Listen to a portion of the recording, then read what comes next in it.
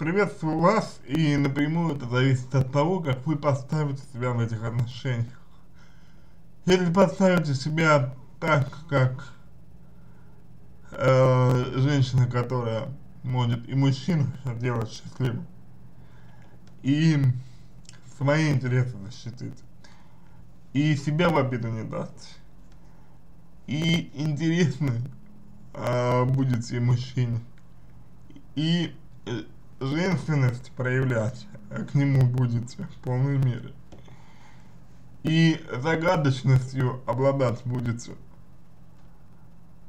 то тогда при наличии э, того, что мужчина будет ощущать с вами, себя с вами мужчиной в узком смысле, да, то есть, э, как, вот он будет ощущать, что вот он мужчина рядом с вами, то тогда у вас сложится с ним отношения хорошо. По крайней мере, при наличии у него к вам симпатии. Изначально симпатии. Потому что без симпатии, если человеку, например, вы будете безразличны, то ничего не получится в принципе. На этом, пожалуй, все.